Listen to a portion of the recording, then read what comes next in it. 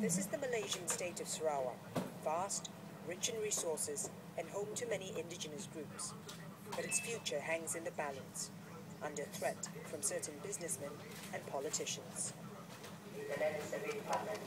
Yeah, they are the one that issues this license. Of course, it's from the CM's directive, but I can speak with the CM very quickly. Can you? Yes, And do you think he will agree to it? yeah. He was the one who your gave us that land. Okay. Yeah. He's my cousin.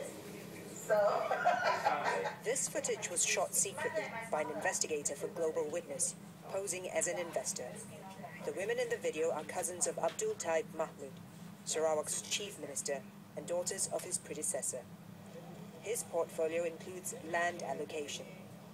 In 2011, he gave his cousins 5,000 hectares of land for a nominal sum of $300,000. Having secured agriculture and timber licenses, they were trying to sell it a year later for more than $16 million. We visited an indigenous community who live in the area. They were shocked to find out what was going on. Sige, kami itu tadi We will fight on at all costs. We let them take timber in the past, but we had no idea they were planning to take our land. Indigenous people have special rights over much of the land in Sarawak, but there's scant regard for those rights.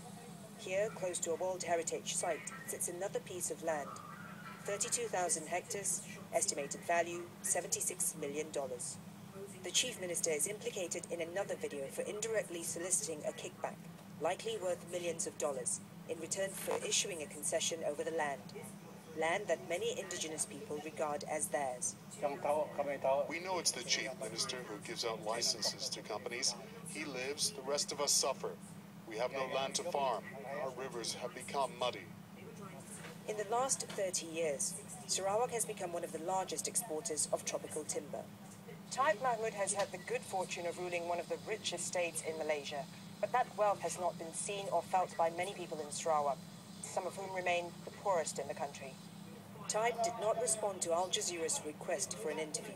Malaysian anti-graft officials say they're investigating Taib, but have declined to comment on the case.